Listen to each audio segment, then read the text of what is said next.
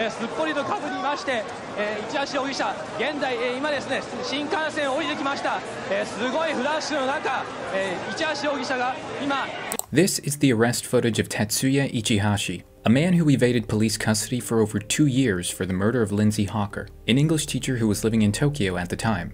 While on the run, Tatsuya would go to the extreme to conceal his identity and evade capture, even going so far as to perform plastic surgery on his own face. By the time of his capture, he was one of Japan's most wanted criminals. But what led up to these events? Who was the victim? And how was he ultimately caught? What's going on guys? Welcome back to a new video. If you guys enjoyed true crime stories, then be sure to hit that like button and subscribe if you're new. With that being said, grab a coffee or a snack and get comfortable. This is the twisted case of Tatsuya Ichihashi.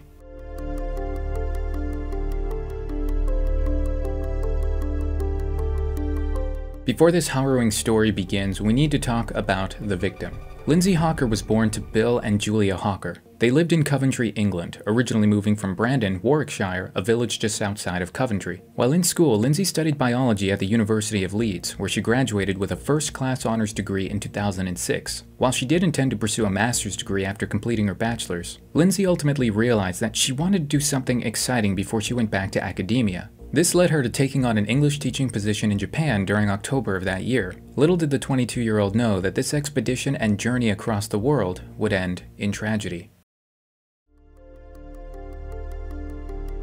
Tetsuya Ichihashi was born in Gifu Prefecture on January 5, 1979. His father was a doctor and mother a dentist. This naturally put pressure on Tatsuya while he was growing up, as he was surrounded by a successful family. While growing up, Tatsuya ultimately failed to meet his family's expectations, as well as his own, failing exams that would further his career. Tatsuya ultimately settled with a degree in horticulture from Chiba University in 2005, this being when Tatsuya was already 26 years of age. Upon graduation, Tatsuya unfortunately did not have luck finding a job. Whether this was because he chose not to try or he had legitimate trouble holding down work, Tatsuya ultimately lived off an allowance of 100,000 yen per month from his family. That's roughly about 750 US dollars at the time. Police would describe Tetsuya as a loner with an obsession for physical fitness. He regularly worked out at the gym and cycled roughly 25 kilometers a day. While this might not be such a bad thing, police would also go on to report that he had an interest in violent manga, which some would say attributed to the case. With this kind of background, do you think it provides any insight into the mind of Tatsuya Ichihashi? Do you think it played a part in his actions, and if so, how? I'd love to hear your thoughts in the comments below. Now before we go any further, I know cases like this can make your blood boil and even make you start sweating because of how crazy they get. Sometimes I feel like I need a shower after making these videos. But that's why I'm pleased to tell you about today's sponsor, Native, an aluminum-free deodorant that I've honestly fallen in love with. Unlike other deodorants, Native just feels good on the body. It's not sticky and it dries quickly. Not to mention it has other simple and familiar ingredients such as coconut oil and shea butter. And aside from being aluminum-free, Native offers plastic-free packaging and its ingredients are cruelty and vegan free. But what I really like about Native is not just the wide variety of scents, but even after a whole day of moving around or exercising, it stays with you, even providing you with up to 72 hours of odor protection. Like, I've been out all day and I still smell divine. I personally fall in love with the cashmere and rain scent as it just smells so good and refreshing. But if I feel like I want to switch things up, you can't go wrong with coconut and vanilla or even lavender and rose. They all smell amazing and they'll definitely give you that fresh feeling that'll last you all day. And for a limited time, you can embrace the magic of autumn with Native's Cabin Collection. Perfect for those nights around a campfire, apple picking, or curling up by the fire, you can enjoy scents like wildwood and cardamom, warm cider and cinnamon, and of course, you already know my personal favorite, cashmere and rain. They're only available during the fall, so get them while you can. And if you end up liking Native that much and you want even more, well, guess what? They also offer body washes and toothpastes. And I can tell you right now, they're just as good as their deodorants. My whole bathroom might just end up filled with Native at this point. Now, three deodorants would be $39 normally, but if you use my link and code TerryTV, you can get them for $26. That's over 33% off. Also, with my code, you can get 20% off any toothpaste or body wash. Once again, that's code TerryTV to save 33%. And now, Let's get back to the crime. Lindsay met Tatsuya on March 20th, 2007, while she was riding her bike home from work. You are my English teacher, a man said while Lindsay was unlocking her bike getting ready to ride home. She turned around to see Tatsuya standing there. It was an uncomfortable situation to say the least, and it only got worse. She told Tatsuya that he had her mistaken for someone else, because she clearly didn't know the 20 year old Japanese native. Lindsay then got on her bike and continued on her way. but it wasn't long before she realized that Tatsuya was in fact following from behind. As she picked up speed on her bike, she realized that Tatsuya's brisk walk had now turned into a jog as he matched her speed to maintain his pursuit. This should be a clear red flag for anyone in similar situations. The fact that Tatsuya approached Lindsay from behind and mistook her for his English teacher is believable to some extent, but there's no excuse to chase somebody down while they're riding their bike home. Even in places like Japan where the overall rate of crime is low by most standards, you can never be too careful when dealing with people you don't know. Upon arriving in front of her apartment, Tatsuya asked Lindsay for a glass of water. Lindsay, being the kind-hearted person that she was, felt bad for him at the time, and she agreed to let him in for a glass of water, but not before showing him that she shared her apartment with her two roommates. Lindsay was a smart young woman, and she did this to establish boundaries as well as show her roommates what Tatsuya looked like, just as a precaution. While inside, Tatsuya proposed that Lindsay give him private English lessons for a handsome rate, but Lindsay ultimately refused the offer. Before he left, Tatsuya drew a picture of Lindsay on a scrap of paper and signed it with his name, number, and email address, in the hopes that she would contact him in the future. Lindsay thought again about the proposal, and in her eyes, Tatsuya had given himself a better first impression than earlier before. Ultimately, she decided to take him up on his offer, and the two then made plans to meet for an English lesson four days later.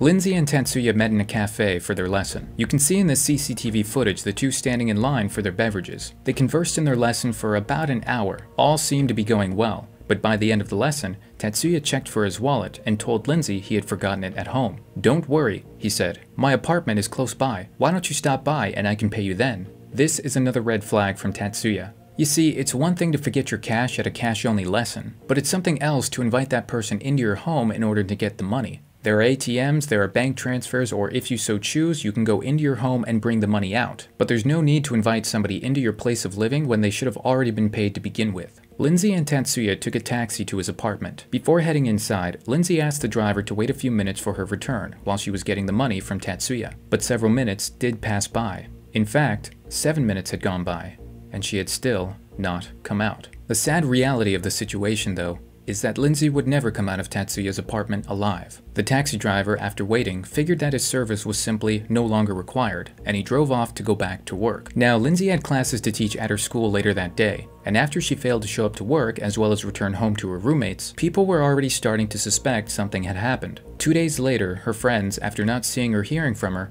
called the police. It wasn't hard to point the blame at Tatsuya. After all, her roommates already were likely aware that she had made plans to meet him that day. But what made it even easier to track him down was the little scrap of paper he left at her apartment, detailing his contact info. It wasn't long before two police officers were dispatched to Tatsuya's apartment around 5.40 p.m. However, without enough evidence, all they could do was knock. At first, it seemed like no one was home, all the lights were off and there was no sign anyone was there. However, police caught sight of a faint shadow moving inside. The two officers called for backup, and about an hour later, seven more officers showed up. While the officers were dispersed around the general area, Tatsuya, who was already aware the police were onto him, snuck out of his apartment. Barefoot with just a rucksack on his back, he tried to sneak past the authorities, but while trying to sneak by, he bumped into one officer. Tatsuya immediately tried to flee, but the officer grabbed his rucksack, forcing Tatsuya to leave it behind. Now, Tatsuya's apartment was on the fourth floor, and there were only two officers up there at this time, but for some strange reason, none of the officers had radios with them. So when Tetsuya snuck out and evaded the officers on the fourth floor, they had no way to alert the officers on the ground floor. Tetsuya was then able to escape into the night, leaving only his rucksack with his gym clothes in it behind. Shortly after Tetsuya's disappearance, police would then search his residence, and there they would find Lindsay's body. Buried in his detachable bathtub that he had moved onto his balcony, Tatsuya had buried her using mostly soil and decomposing agents, which he most likely had access to as a horticulture student. During examination, it was discovered that Lindsay's body was bound and gagged, with bruises along her face and upper torso. It was clear that something horrible had taken place. Along with the body, Lindsay's possessions were scattered across Tetsuya's room, with no clear intent to hide them. The fact that Tetsuya attempted to hide the body but not Lindsay's possessions indicates that he hadn't thought out this plan very clearly, let alone the fact that he left his contact information with her and her roommates. Due to this, it can be said that perhaps this crime wasn't 100% planned. However, none of that matters in the end, because Lindsay was still taken from this world, and Tatsuya was nowhere to be found.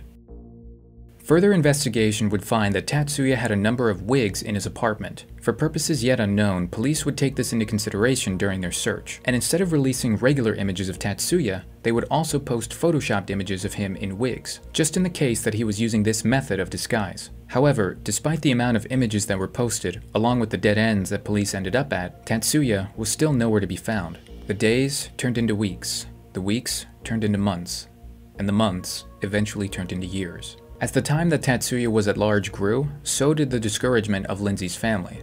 They were becoming impatient with the Japanese police that weren't able to locate their daughter's killer. In fact, Lindsay's family eventually even flew to Japan to join the search and push any leads they could to find justice. Lindsay's father Bill even went so far as to meet Yakuza members, or the Japanese mob, to help them in their search. In exchange for their help, Bill offered them two bottles of whiskey. This just goes to show the lengths that the family was willing to go to to find their daughter's killer.